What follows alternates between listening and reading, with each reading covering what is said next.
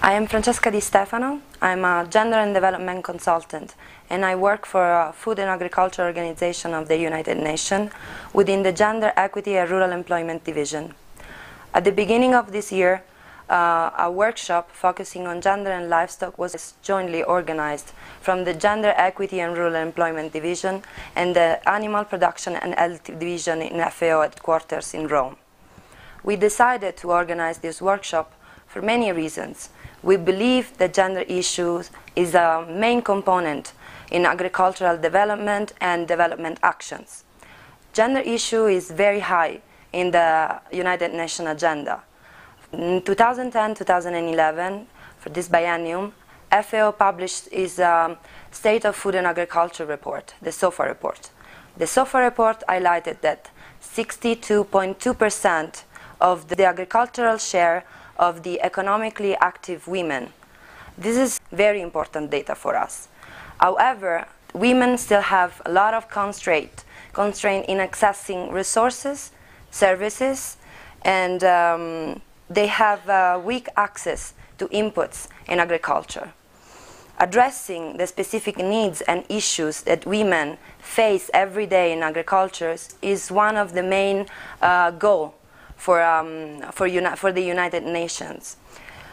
We uh, organized this workshop in order to understand and enhance participants' capacity uh, to uh, address gender issues in, uh, in their work every day. We have different participants coming from five different countries in East Africa. Um, participants come from uh, relevant organizations, FAO, IFAD, GulfMed, ILRI, and uh, five different ministries. We had a huge response and participants were actively participating, commenting, providing inputs, and they were very interested. For us, this is a sign that um, gender is, is not only important, it's fundamental for them.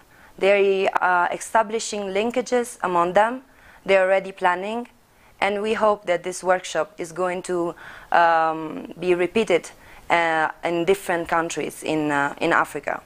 The main goal of this, uh, of this workshop so, was to understand the key issues that, um, on, and the socio-economic issues in livestock production and management.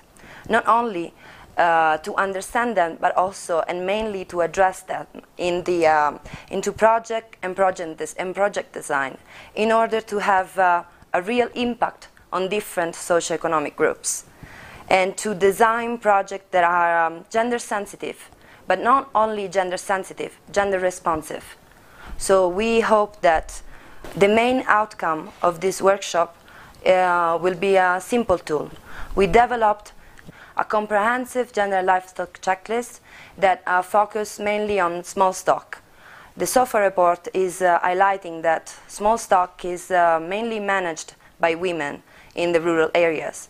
So we try to design a tool that is simple, that is straightforward, easy to use, and that can be adapted to every regional context. That in uh, upcoming future, simple tools like gender checklist and uh, will be developed more often, used more often, in order to address gender issues in a more comprehensive way into developmental actions. Thank you.